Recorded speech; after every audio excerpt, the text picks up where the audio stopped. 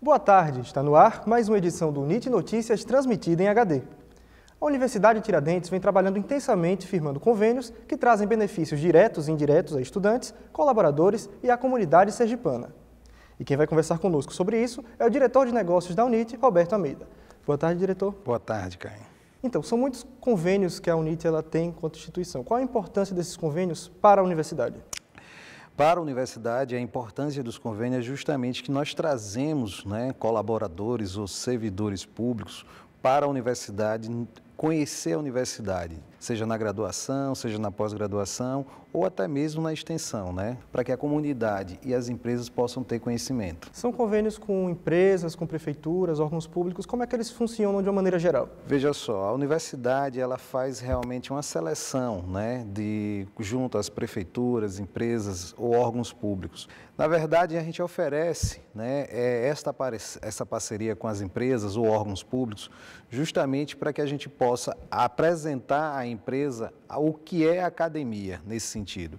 Em contrapartida, a gente tenta oferecer para as empresas benefícios, né? um colaborador, um servidor público, ele passa a ter um benefício ah, ao momento que ele está estudando aqui na universidade, seja na graduação ou seja na pós-graduação. Esse benefício ele se configura em quê? Em desconto na mensalidade? Sim, sim, sim, sim. Ele se configura em, em, em, desconto. Na verdade, é um benefício né, que esta empresa, por ser parceira da universidade, oferece ao seu colaborador ou servidor.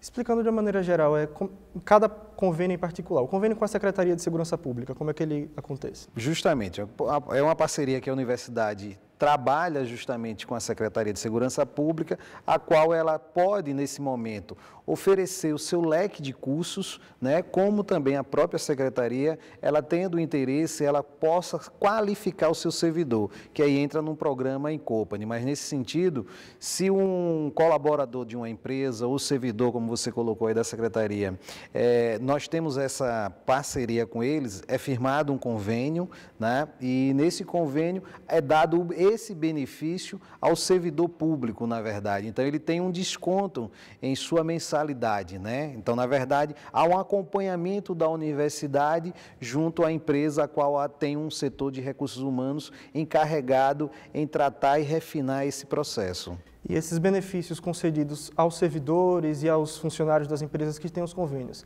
eles são restritos aqui ao universo acadêmico ou também são encontrados fora da universidade?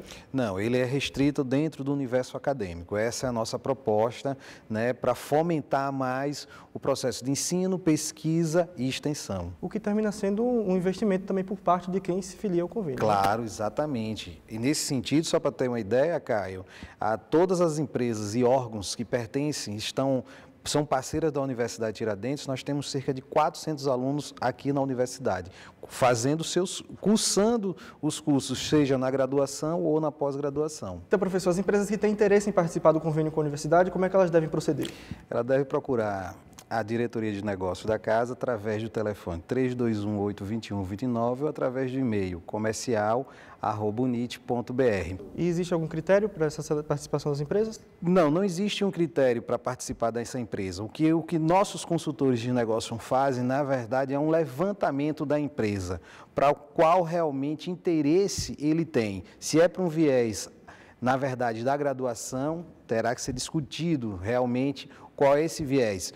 Por exemplo, a gente vai trabalhar com uma empresa ligada na área de saúde, então é, é, notório saber que a gente não poderá oferecer algum tipo de benefício para áreas de humanas, teria que ser para a área de saúde nesse sentido. É para a área específica, exatamente. Também, professor, muito obrigado. Esta edição do NIT Notícia termina agora. A gente volta amanhã. Uma boa tarde.